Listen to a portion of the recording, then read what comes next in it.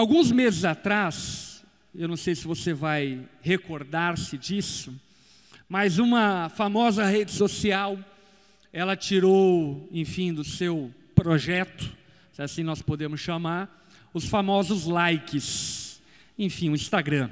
O Instagram tomou como decisão a retirada dos likes. Óbvio que tem aqueles inocentes que pensam que realmente eles estão preocupados com o nosso bem-estar e etc e tal. Mas eu não vou falar aqui sobre a inocência de alguns. Mas a desculpa usada para tirar esses likes, de fato são realidades presentes na sociedade de hoje, que é o fato de que muitas pessoas é, estruturam a sua imagem estrutura a sua autoimagem, seu selfie, a partir das redes sociais, como se dizendo, por exemplo, que ter muitos likes significa que eu sou muito querido e significa que aquilo é muito bom, e não ter likes significa então que eu não sou uma pessoa muito boa e que isso é motivo para eu, enfim, ficar depressivo, mal, doente e ficar muito mal. Isso, de verdade, eu não quero entrar aqui no campo opinativo, se isso foi bom ou foi ruim, mas eu quero me restringir ao fato de que isso foi retirado, porque existem pessoas que ficam muito mal com o fato de, enfim, receberem desabonos ou não receberem likes, enfim, nas redes sociais. Isso me assusta. Pois aqui ficam assustados. Primeiro motivo que me assusta. Tem gente que realmente acredita que Instagram é vida real. É a primeira coisa. A segunda coisa que me assusta é o quanto os seres humanos se transformaram em pessoas hipersensíveis. Hipersensíveis. Hipersensíveis à dor, hipersensíveis ao sofrimento, hipersensíveis ao choro, hipersensíveis à rejeição, hipersensíveis a todo tipo de coisa que de alguma forma contraria o nosso bem-estar. E isso é assustador. Quantos concordam? É assustador. É assustador pensar que, por exemplo, uma pessoa pode ficar deprimida pelo fato de não ter seguidores numa rede social.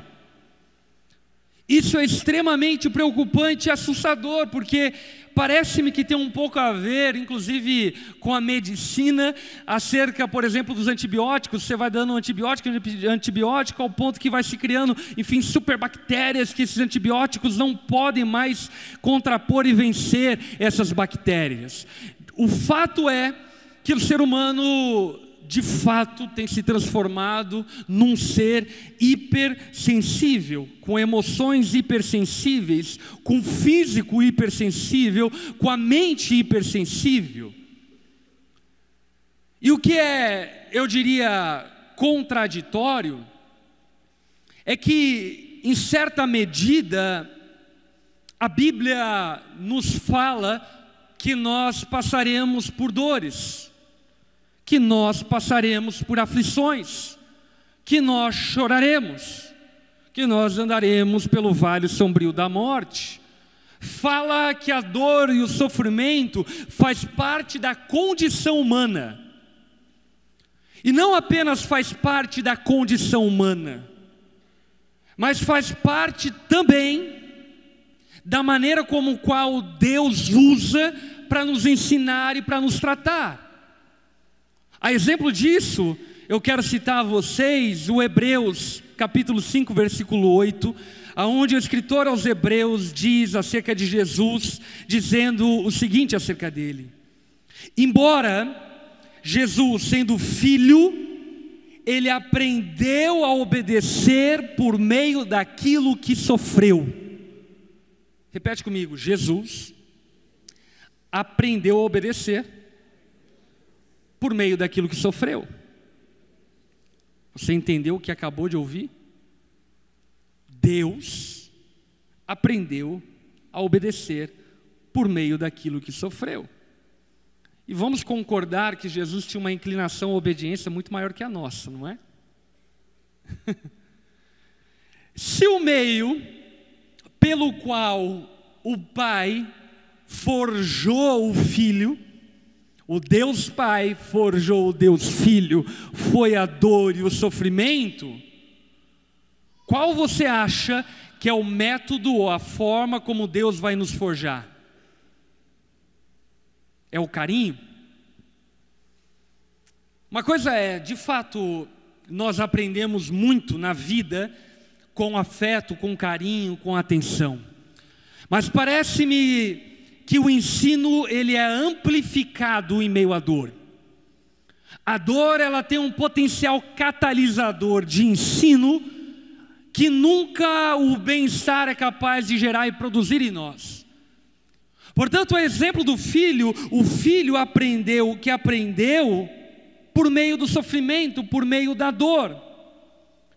E a grande realidade a partir dessa verdade bíblica é que você nunca vai se tornar grande aos olhos de Deus se você não se tornar grande em meio aos seus sofrimentos.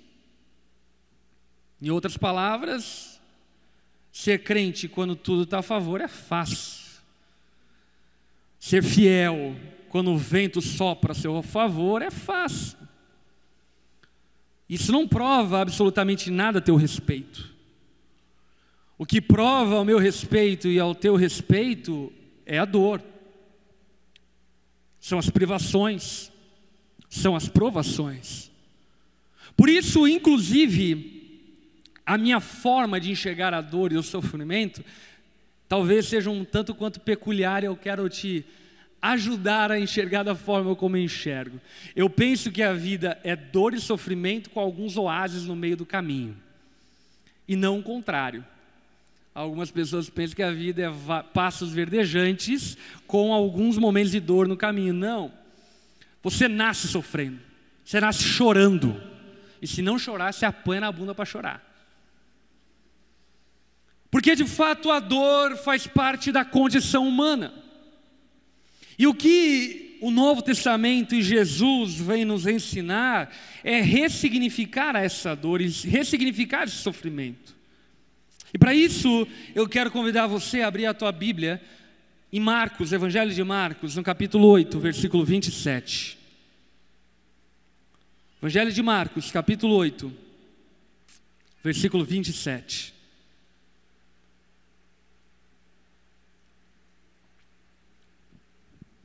Jesus e seus discípulos dirigiram-se para os povoados das proximidades de Cesareia de Filipe. No caminho ele lhes perguntou: Quem o povo diz que eu sou?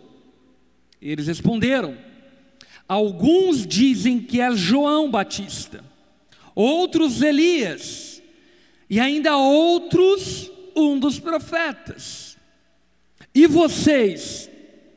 perguntou ele: quem vocês dizem que eu sou? Pedro respondeu: Tu és o Cristo. Jesus os advertiu que não falassem a ninguém ao seu respeito. Pedro tem revelação de quem é Jesus. Jesus não é um simples homem. Pedro consegue enxergar além daquilo que ele via e consegue compreender que Jesus era o Cristo. O que é Cristo? Cristo é uma palavra grega para apontar para uma palavra hebraica que é Messias. Jesus é o Messias. Portanto, quando nós chamamos de Jesus Cristo, nós estamos chamando de Jesus o Messias, Jesus o ungido, Jesus aquele que haveria de vir. Quem é haveria de vir? Jesus. O Antigo Testamento apontava para um dia onde viria alguém que ocuparia o trono de Davi e restauraria Israel, e essa pessoa é Cristo. Agora, o que muitos judeus equivocadamente pensavam é que esse Cristo viria se apresentar como um imperador invencível que subjugaria as forças do Império Romano e colocaria Israel no devido lugar. E é óbvio que os judeus que pensavam dessa forma não aceitavam a Bíblia toda. Porque Isaías 53, por exemplo, é um capítulo reservado para falar que o Cristo haveria de sofrer. Que Cristo haveria de ser rejeitado, que ele seria traspassado, que ele seria esmagado, que ele seria contado entre os ímpios. Portanto, os judeus, eles ignoravam essa faceta do Cristo que haveria de sofrer. E porque eles ignoravam essa faceta do Cristo que haveria de sofrer, eles criaram uma imagem idealizada do Messias. E essa imagem idealizada do Messias vem à tona no versículo 31. Olha só o que acontece no versículo 31. Então ele começou a ensinar-lhes que era necessário que o filho do homem sofresse muitas coisas. E fosse rejeitado pelos líderes religiosos, pelos chefes dos sacerdotes e pelos mestres da lei, fosse morto e três dias depois ressuscitasse. Preste atenção nesses versículos. Era necessário Repete comigo: necessário. Era uma necessidade. O Messias tinha que sofrer. O Messias tinha que chorar. O Messias tinha que padecer. Ele tinha que sentir dor. Ele tinha, ele precisava, era necessário. Isso fica muito evidente no Getsemane. Quando Jesus, Deus Filho, olha, ora para Deus Pai, dizendo a Deus Pai: Pai, se possível, afasta de mim essa dor, esse cálice, mas contudo, não seja feita a minha vontade, mas a tua. O pai olha do céu para o filho e diz: Filho, não é possível, você vai ter que sofrer. Portanto, o Messias haveria e teria que sofrer. Mas parece que esse pseudo evangelho triunfalista que tem preservado-se até os dias de hoje, já existia naqueles dias. Parece-me que esse evangelho que ausenta a dor, ausenta o sofrimento, ausenta a pobreza, ausenta o caos, ausenta as dores da vida, já existia naqueles dias, por quê? Olha só o que acontece no versículo 32 ele falou claramente a esse respeito do que? De que ele haveria de sofrer. Então Pedro, chamando a parte, começou a repreendê-lo. Agora imagina a cena. Jesus, diante dos, messi, diante dos discípulos, diz: Eu vou ter que sofrer, é necessário que eu sofra. É necessário que eu sofra para que se cumpra a palavra que havia sido prometida a meu respeito, e não somente para que se cumpra a palavra, mas para que também Hebreus faça sentido. O filho do homem aprendeu por meio daquilo que sofreu. É necessário que eu sofra. E o apóstolo Pedro, o típico cristão, o típico crente triunfalista, pega Jesus, tira de canto e começa a dar de dedo em Jesus. Você está ficando maluco? Como assim sofrer? Nós somos o povo de Deus. A gente é cabeça, não é cauda. A gente vai pisar a cabeça da serpente. Nós somos um povo mais próspero da terra. Você está ficando maluco? Como assim você tem que sofrer? Como assim você tem que passar por sofrimento? Jesus você não conhece a Bíblia? Jesus, você não conhece os profetas? Você consegue imaginar Pedro repreendendo Jesus? Eu consigo. Porque aparentemente é aquilo que nós continuamente fazemos, mas agora não a respeito de Jesus, mas a nosso respeito.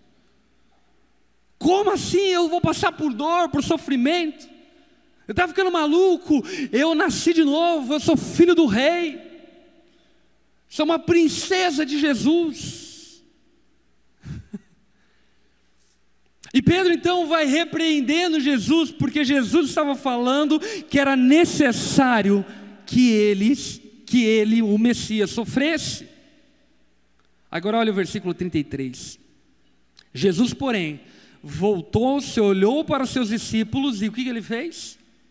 repreendeu Pedro, dizendo: Para trás de mim, capeta, para trás de mim, Satanás. É muito interessante o quão bem faz ler a Bíblia. Porque por vezes nós nunca conseguimos conceber, por exemplo, Jesus ofendendo alguém no nível que ele está ofendendo Pedro. Porque a nossa ideia é que Jesus é um ser meio tipo, de boa. Vamos viver na vida, está tudo tranquilo.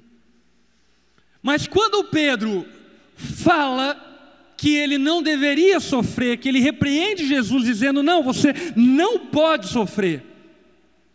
O que Jesus diz a Pedro é: Afasta de mim, Satanás. Afasta de mim, diabo.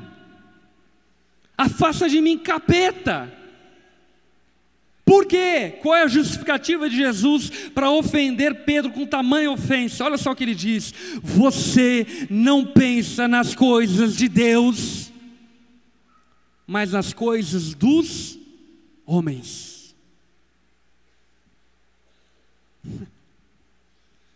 Eu não sei se você já pegou aqui qual é o princípio que está por trás disso tudo. O que Jesus está declarando implicitamente é que sofrer faz parte das coisas de Deus.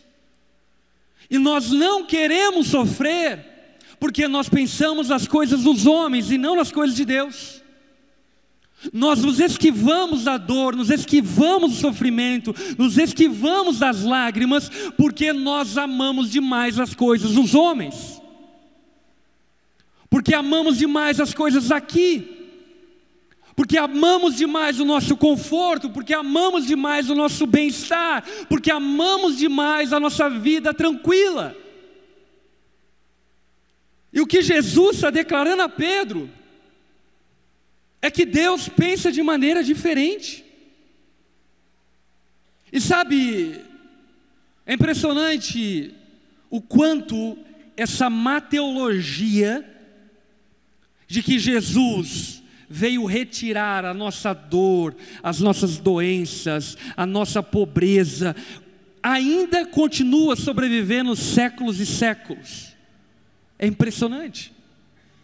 Pois tem hoje gente afirmando, por exemplo, que a falta de prosperidade financeira indica uma vida espiritual fracassada. Você está maluco? Você está doido? Os apóstolos, em grande medida, morreram pobres. E você quer dizer que você é mais encarnado do que o apóstolo Paulo?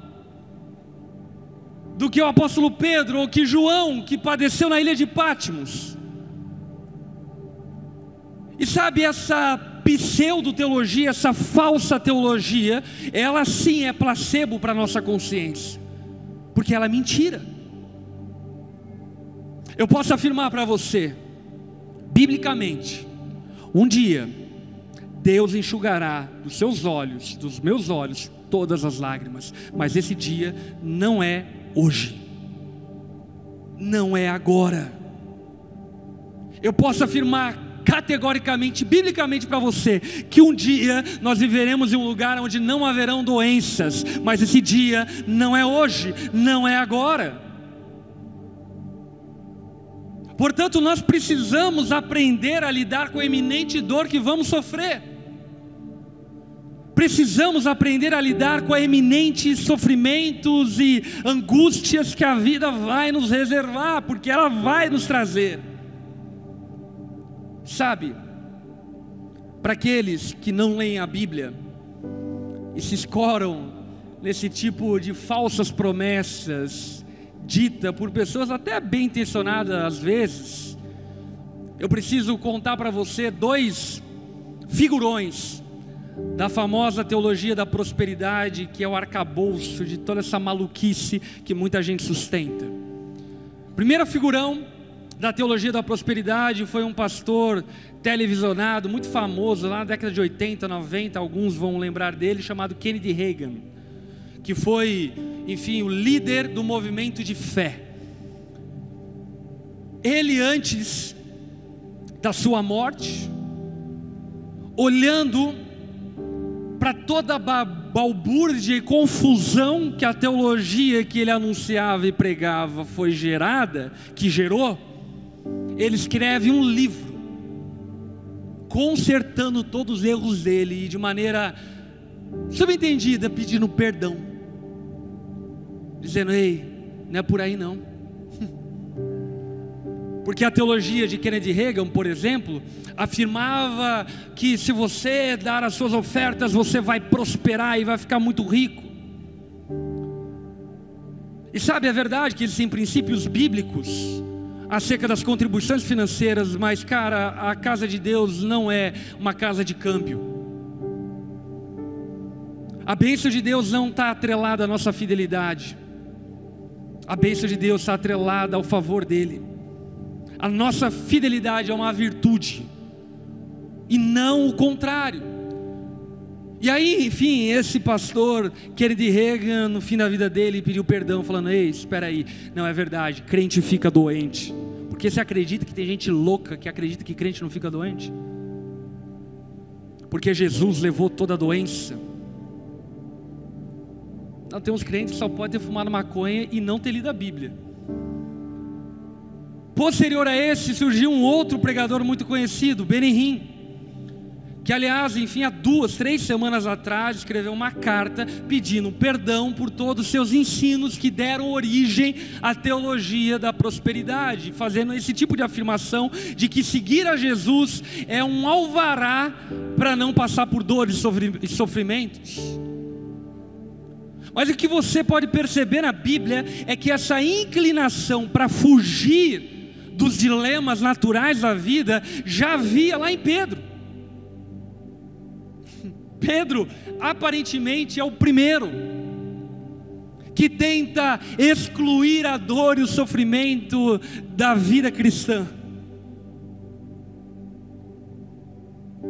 Agora, olha só o versículo 34. Então ele chamou a multidão e os seus discípulos e disse: se alguém quiser acompanhar-me, negue a si mesmo, tome a sua cruz e siga-me. Aí talvez você possa afirmar, ah, pastor, mas Jesus estava falando acerca dele. Para você não ficar só com essa afirmação, o texto continua com Jesus dizendo: Olha, eu vou sofrer mas não acho que eu vou sofrer sozinho.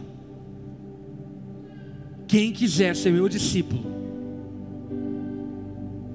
negue a si mesmo, tome a sua cruz e siga-me.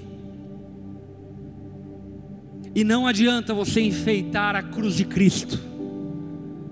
O símbolo da cruz naqueles dias era muito claro. Jesus estava falando sobre dor, ele estava falando sobre mortificação. Obviamente que ele não estava falando aqui sobre uma mortificação literal, porque essa morte ele já sofreu. Mas ele estava falando sobre uma vida de renúncias, sobre uma vida de completa devoção a Deus. Portanto, algo que eu e você precisamos saber é que o cristianismo antes de ser um convite à vida, ele é um convite à morte. A fé cristã, antes de prometer vida a nós, ela nos convida à morte, nos convida à nossa morte, porque é bem simples, a tua vida não tem como melhorar tem como piorar, mas melhorar não. e para que nós tenhamos uma vida boa e nova, é necessário que morramos. Portanto, a ressurreição e a glória de Cristo, ela é posterior à nossa morte. Se não passarmos pela morte, e aqui vale a pena novamente lembrar, essa morte é simbólica, ela é espiritual. Se nós não passarmos pela morte, nós não herdaremos a vida.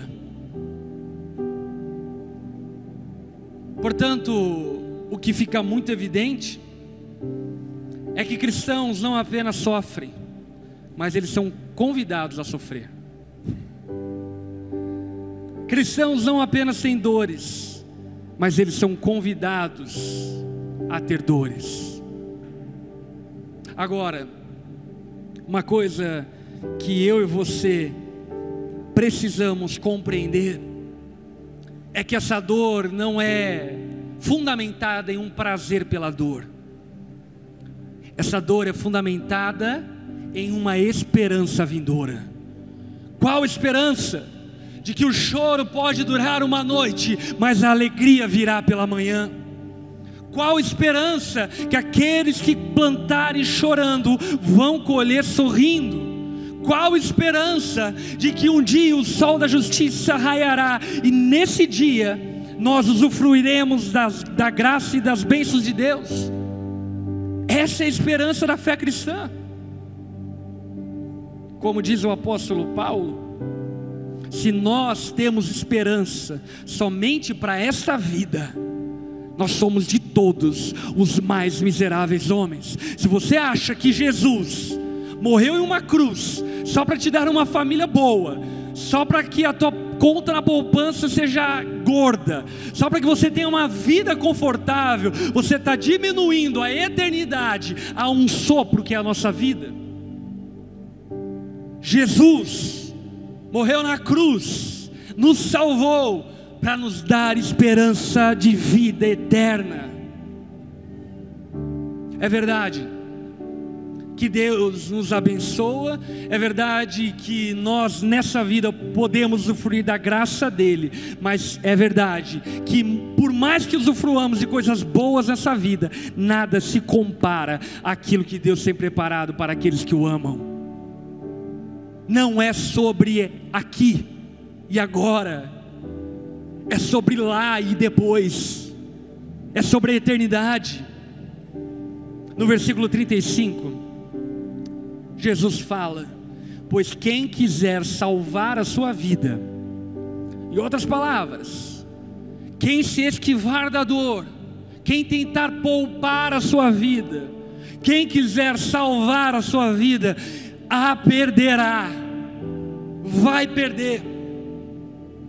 Aqueles que abraçarem o conforto, aqueles que se esquivarem da dor, aqueles que fugirem da dor vão perder, mas aquele que perder a sua vida por minha causa e pelo Evangelho, este a salvará.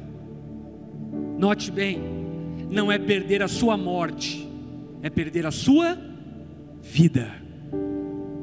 Jesus não convida a nós para que apenas morramos por Ele, mas Ele nos convida para que vivamos por Ele. E o que Ele está falando é sobre entregar uma vida como oferta a Ele, entregar os nossos dias como oferta a Ele, e aquele que entregar os seus dias como uma oferta a Jesus, salvará a sua vida. Portanto, o que nós percebemos acerca da fé cristã é que ela é um convite para o sofrimento, mas não para o sofrimento tipo hipersensibilidade. Ela é um convite para que ressignifiquemos as nossas dores. Jesus ele não está falando sobre sentir dor por causa da dor de cotovelo. Ele não está falando sobre sofrer por causa da tua desobediência no teu casamento. Ele não está falando sobre dores provenientes da nossa vida pecaminosa. Não, Ele está falando para que elevemos o sentido da nossa dor e de uma vez por todas coloquemos a nossa vida na disposição de sofrer o que tiver que sofrer por causa de Cristo e pelo Evangelho. E para você não achar que isso é algo isolado das palavras de Jesus, eu quero citar alguns textos para você. aonde fica muito evidente que Jesus nos convida para que não apenas aceitemos o sofrimento proveniente do Evangelho, mas que o abracemos. Olha só, Filipenses capítulo 1, versículo 29. Pois a vocês foi dado o privilégio de não apenas crer em Cristo, mas também de sofrer. Romanos 8,17 se somos filhos, então somos herdeiros, herdeiros de Deus e cordeiros com Cristo, se de fato participamos dos seus sofrimentos, para que também participemos da sua glória. Lucas 6, 22. Bem-aventurados serão vocês quando os odiarem, expulsarem, insultarem, eliminarem o nome de vocês como sendo mal por causa do Filho do Homem. Regozijem-se nesse dia, saltem de alegria, porque grande é sua recompensa nos céus, pois os seus ante antepassados foram tratados assim. Atos 5,40 ele foi convencido pelo discurso de Gamaliel, chamaram os apóstolos e mandaram açoitá-los. Depois ordenaram-lhes que não falassem no nome de Jesus e os deixaram sair em liberdade. Os apóstolos saíram no sinédrio, alegres. Por quê? Por terem sido considerados dignos de serem humilhados por causa do nome de Jesus. Preste atenção, não é amar a dor, mas é amar a Jesus. Não é amar o sofrimento, mas é amar Jesus. Porque Jesus é mais valioso do que as tuas lágrimas. Jesus é mais valioso do que a tua dor. Jesus é mais valioso do que o seu sofrimento. E se nesse caminho de amar a Jesus eu tiver que passar por dores, sofrimentos e lágrimas, que assim eu passe me regozijando, me alegrando, porque eu me encontrei digno de sofrer por causa de Cristo. Eu não estou falando sobre fingir que dor não dói. Eu não estou falando sobre fingir que sofrimento não é ruim. Eu não estou falando sobre enxugar as tuas lágrimas e bater nas tuas costas dizendo: Ei, homem de Deus, não chora. Não estou falando isso. O que eu estou falando é que o caminho da glória passa pelo caminho da dor. E talvez seja o tempo de você ressignificar o motivo pelo qual você tem sofrido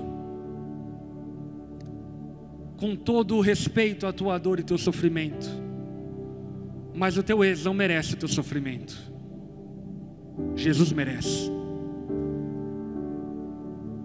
Com todo respeito à tua dor e o teu sofrimento, mas as coisas daqui não merecem a tua dor e teu sofrimento, Jesus merece.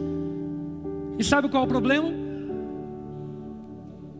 Vamos aqui nos auto-questionar de todas as dores que você tem sentido, quais delas dizem respeito às coisas de Deus? Você já parou para pensar nisso? De todas as angústias, noites mal dormidas, lágrimas derramadas, quais delas é sobre coisas eternas? Quais delas é sobre coisas que estão além dessa vida?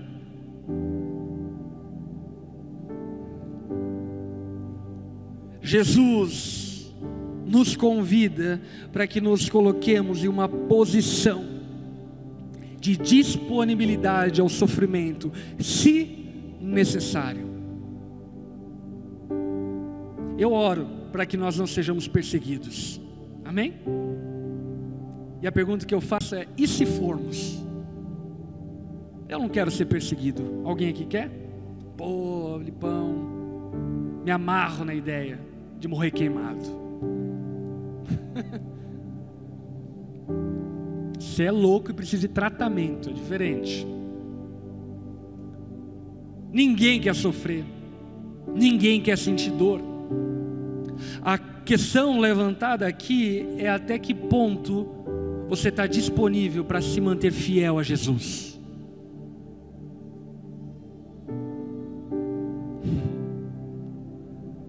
Será que a tua pobreza é o limite da tua fidelidade? Será que a tua saúde é o limite da tua fidelidade? Será que um dia ensolarado é o limite da tua fidelidade? Será que uma vida confortável e conveniente é o limite da tua fidelidade? Homens e mulheres de Deus são forjados em meio à dor. São forjados em meio ao sofrimento. Homens e mulheres de Deus precisam abraçar o sofrimento, quem abraça seus próprios mestres, porque nada na vida vai te ensinar mais do que as tuas dores. Nada na vida vai te ensinar mais do que os seus lutos, do que as suas perdas. Com isso eu não desejo dor a você. Eu só digo a você, para que em meio à dor você permaneça fiel, você permaneça em pé, crendo em Jesus, amando Jesus, guardando o teu coração, como Jó, como Jó, que sabia que o redentor dele vivia e que por fim ele se levantaria. Jó não sabia como seria o enredo da história dele, mas ele sabia como seria o fim da história dele. Ele sabia que um dia ele usufruiria da provisão, do amor, da compaixão de Deus. Eu quero dizer para você que ama Deus, você pode viver com a mesma convicção de Jó. Talvez você não saiba qual é o motivo pelo qual você tem sofrido tanto. Talvez você não saiba qual é o motivo da tua dor, talvez você não saiba porque todo mundo dá certo e você dá errado. Nós não sabemos essas coisas mesmos, e eu não estou aqui querendo encontrar um motivo para a tua dor. O que eu aqui estou dizendo para você é que se você permanecer fiel a Deus em meio à tua dor, Ele te recompensará. O que eu estou dizendo aqui para você é que Jesus não resolveu o problema das nossas dores nesse aspecto. Ainda que ele não prometeu que nós não teríamos doenças, ainda.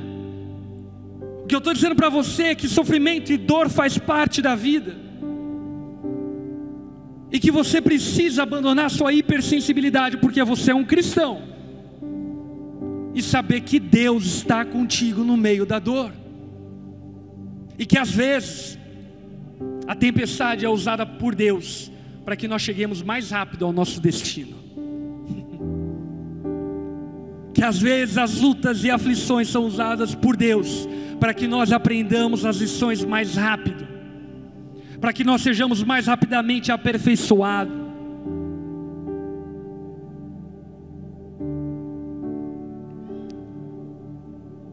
Versículo 36. Pois o que adianta o homem ganhar o mundo e perder a sua alma? O que adianta você fugir da dor, de ter que perdoar quem te ofendeu e perder a sua alma? O que adianta você fugir da dor, de restaurar o teu casamento? E perder a sua alma.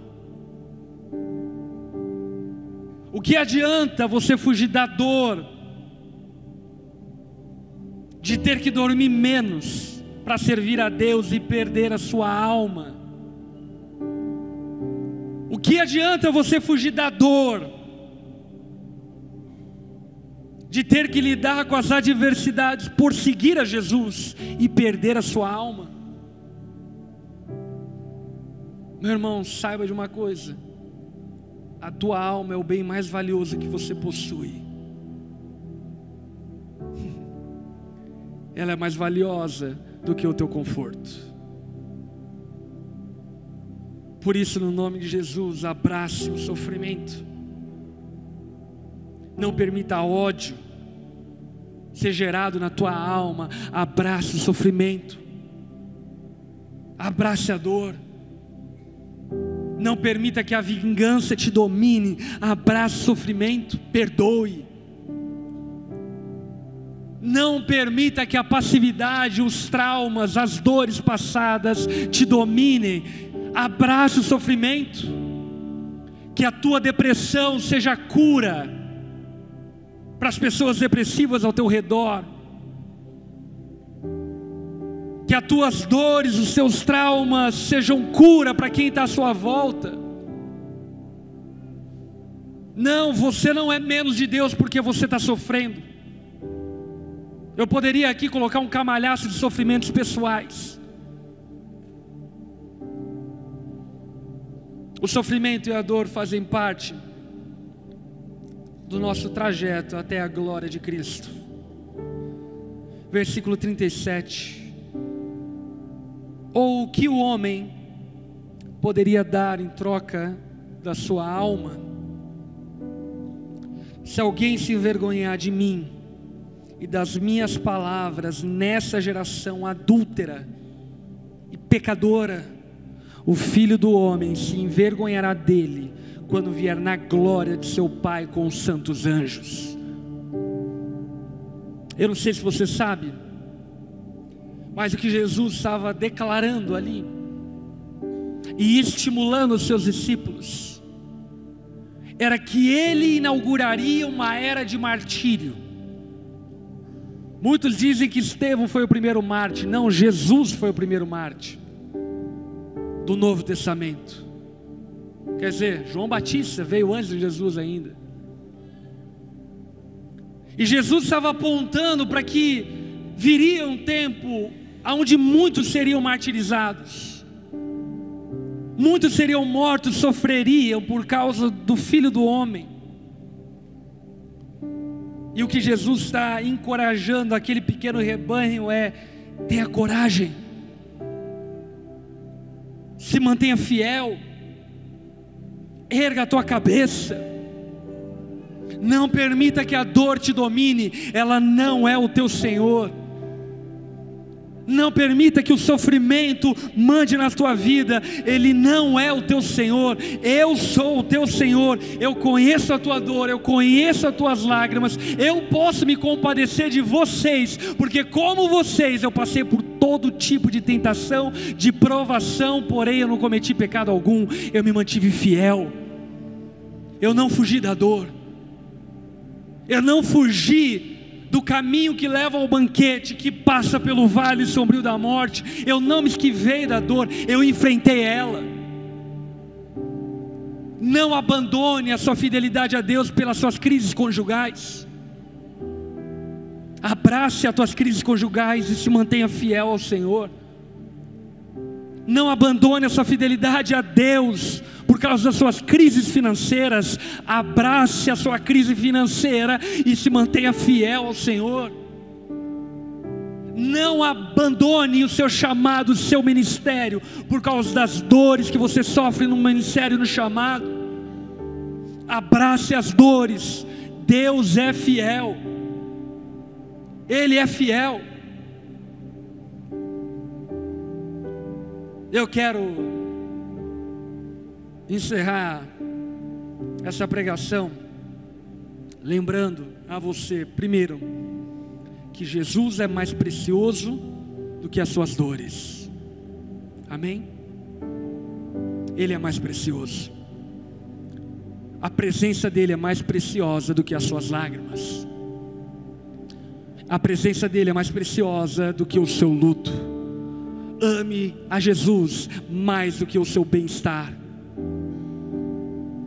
E segunda coisa, eu quero lembrar você, 1 Coríntios capítulo 15, versículo 19, aonde o apóstolo Paulo diz para nós: se é somente para essa vida que temos esperança em Cristo, somos de todos, homens, os mais dignos de compaixão. Não é sobre aqui, é sobre lá. não é sobre bem-estar nessa vida, é sobre a eternidade junto à presença de Deus. Portanto,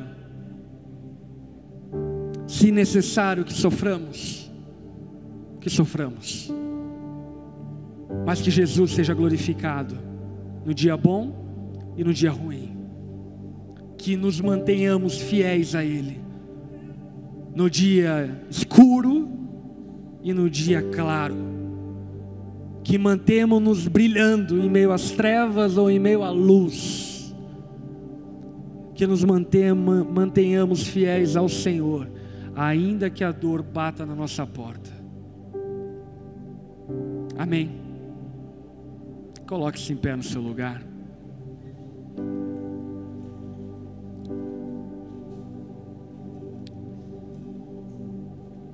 Deixa eu te fazer uma pergunta bem prática.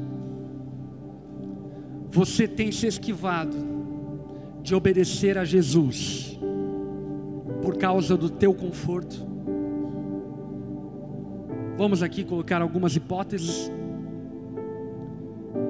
Você tem se esquivado de perdoar pessoas que te magoaram, para que você não retome a dor do teu passado. Você tem se esquivado de servir a Deus, servir no ministério, para você não ter a dor de ter que ter algumas horas a menos de conforto na tua semana? Você tem se esquivado de ser fiel a Deus com o seu dízimo, para não ter a dor de ter que olhar na tua conta bancária e perceber que não tem dinheiro? Você tem se esquivado da dor de ter que encarar de frente o teu casamento e dizer: vamos colocar as coisas em ordem, para que não tenha que sofrer a dor de ter que ouvir a tua esposa, o teu marido te encher na paciência. Você tem se esquivado da dor de pegar o teu filho e dizer: Eu vou ser o teu pai, eu vou te ensinar. Para não ter que ter a dor de desligar a televisão e dar atenção para o teu filho. Você tem se esquivado da dor de buscar a Deus na sua casa, de desligar tudo, ler a tua Bíblia, orar, para não ter que passar pelo sofrimento de desligar o teu Netflix, de ter que dar um off no teu jogo de futebol. Quais são as dores que você tem se esquivado de passar? Deixa eu dizer para você, abrace a tua dor, cara. Abrace o teu sofrimento. Abrace o sofrimento, e eu não digo isso apenas porque eu creio naquilo que a Bíblia nos ensinou a partir do que eu falei hoje, mas eu digo isso porque essa é a minha experiência de vida. Eu estou aqui vivão e vivendo porque eu abracei a minha dor ao longo do meu ministério, porque eu abracei a dor do meu casamento, porque eu abracei a dor da perseguição, porque eu abracei a dor da rejeição, porque eu abracei a dor de ter que pedir perdão, porque eu abracei a dor de ter que perdoar, porque eu abracei a dor de ter que lidar com as minhas aflições, angústias, porque eu abracei a dor de ter que abraçar as minhas limitações. Não existe glória sem dor, não existe vitória sem prova, não existe aprendizado sem provação. Por mais que nós tentemos redefinir a educação, ainda assim, Alunos aprovados são aqueles que passam na prova. Cristãos aprovados são aqueles que passam na prova. Amém. Feche seus olhos. Estenda suas mãos, deixa eu orar por você. Espírito Santo, como é bom saber que nós não servimos a um Deus tirano, que nos expõe ao sofrimento e à dor, e se ausenta da nossa dor e sofrimento. Como é bom saber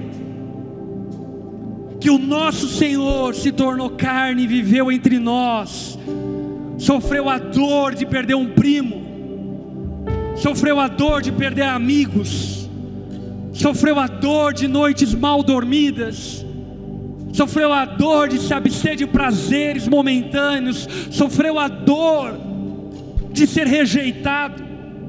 Como é bom saber que nós servimos um Deus que pode se compadecer das nossas fraquezas, um Deus que sabe o que é a nossa dor.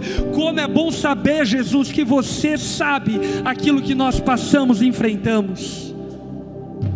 E diante disso, o que nós clamamos a Ti nessa noite, como igreja, como Teu povo, é que você nos dê coragem, força, fé, ousadia e esperança, para que abracemos o sofrimento que nos é proposto, para que não nos esquivemos da necessidade de ter que sofrer. Espírito Santo,